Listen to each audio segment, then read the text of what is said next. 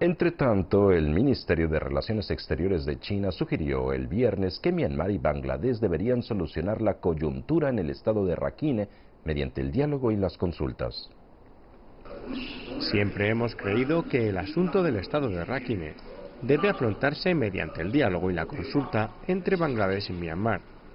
China es vecina de ambos países. Las dos naciones han expresado su deseo de recibir ayuda de China mientras mantienen abierta la comunicación. Si nuestros vecinos necesitan ayuda, China no dirá que no.